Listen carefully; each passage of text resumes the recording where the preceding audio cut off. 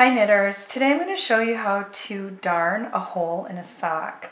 These socks are quite well loved. Miss Molly knit them probably a couple years ago and the other day I was talking to her and she was really sad because she had found that she had uh, quite sizable holes in both of the heels of her socks. So this one I have not darned yet and you can see it's quite a large hole.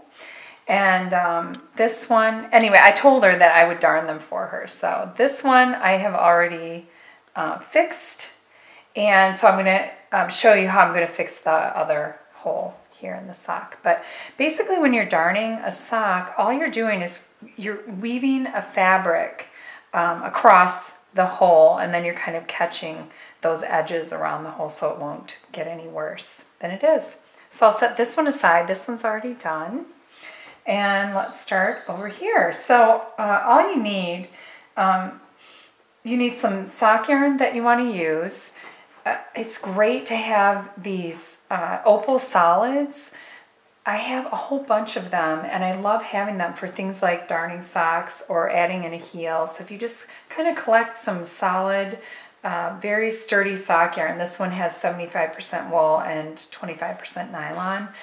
I wouldn't use anything that's not pretty durable for darning just because you want it to last a long time.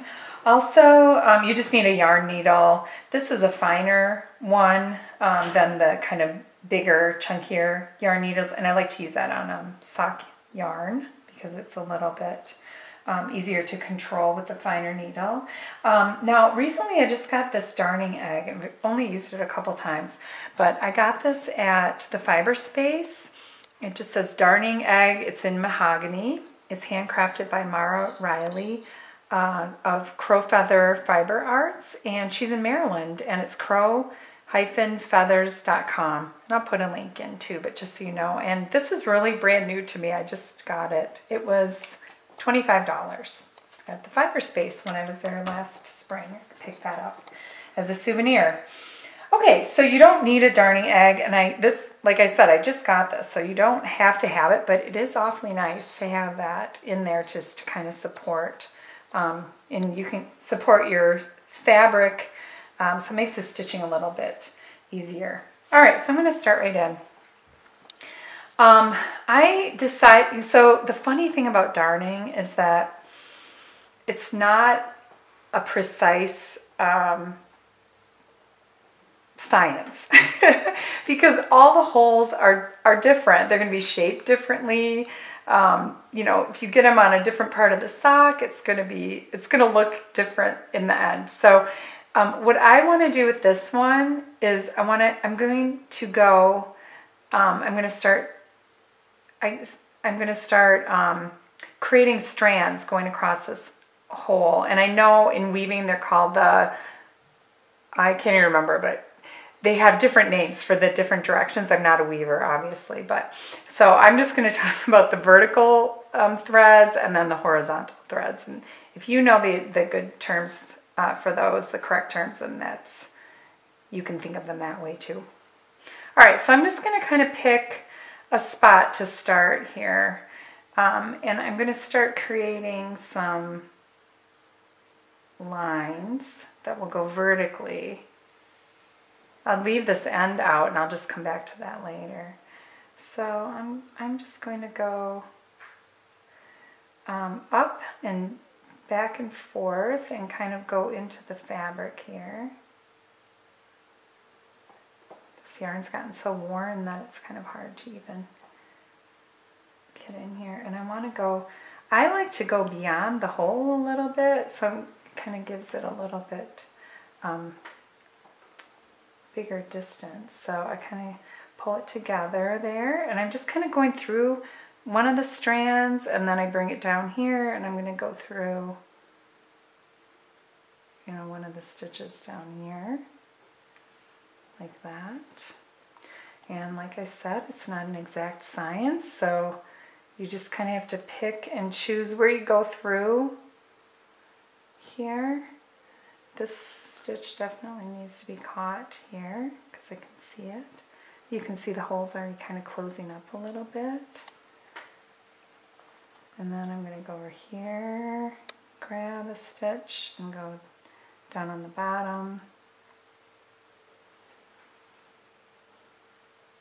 Grab a stitch down there. Right. I don't want the sock to become misshapen or distorted, but um, so I want to keep that kind of loose on there. All right, so that looks pretty good to me. Um, and then what I'm going to do is I'm just, I kind of turn it and I'm just going to weave back and forth, like over, under. I'm going to catch a stitch on the top and I'm going to go over and under and weave along, just going over and under all of these strands here. I like to catch a little bit of a thread down at the bottom just to secure that again. And then I'm going to go under. I'm doing the opposite here on the way back. And kind of snug those up along the way as you go.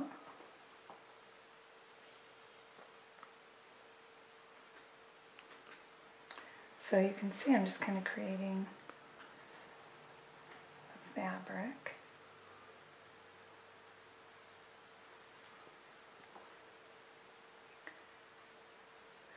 It will be imperfect if your hole is this big. I've done other ones that have been. So keep missing that little thread down there. But again, you're just trying to make a fabric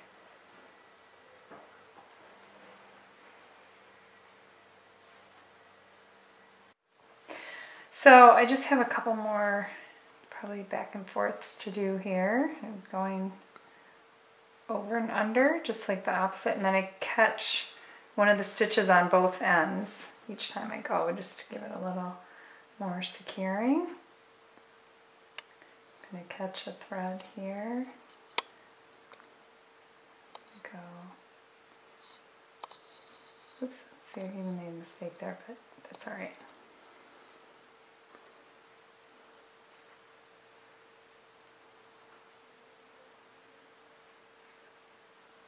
not an exact science. See how it's creating that woven fabric?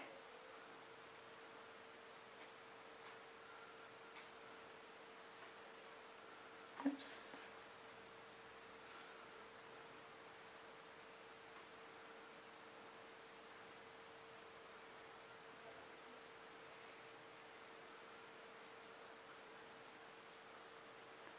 Okay. So let me see, I see a little bit of a hole right up here. So I'm going to try to catch that right in there. All right, that's looking pretty good to me. Um, it's not perfect and I'm not an expert on darning, but I think I do an okay job. It works anyway, it serves its purpose. Um, now what I do sometimes is I just kind of run that thread around the outside to see if there's anything else I should pick up. Like some of these are really thin, these thread, you know, surrounding stitches. So it's kind of nice to just kind of check out and see if there are any little spots you want to kind of sew up around the hole. I think that looks really pretty good. So now what I'll do is I'll just take this egg out and I'm going to pull these ends to the inside. Here, I'll do the first one. Pull that to the inside, the sock. And you can see it from the inside here. See, we've caught all those kind of loose ends there. And then I'm just going to do a little weaving in here. Even catching those kind of frayed ends once again. And then maybe I'll weave in right in the, the new woven fabric. Trim that off. And then I had one more end to weave in.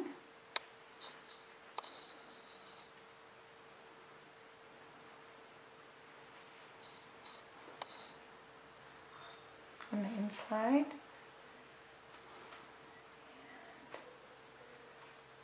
Can find, the, find a good spot to weave in here. I'm just going to kind of pull it through. I think that'll be good. Snip that off. And I think that looks pretty successful actually right there. Let me show you the other one that I did a little bit earlier. So darning a hole in socks. I hope that helps a little bit. Bye.